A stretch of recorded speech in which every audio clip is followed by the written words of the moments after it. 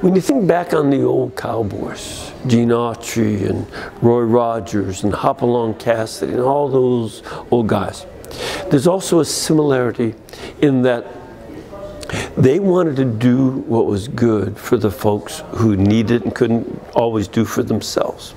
And they didn't care about something for themselves, they cared about it because it had to be done and it was right. And that's that quality is also part of priesthood, and I've oftentimes thought that might be the link. Lord knows there aren't too many of us that go around hunting stuff and rounding up cattle, but it's fun stuff to do.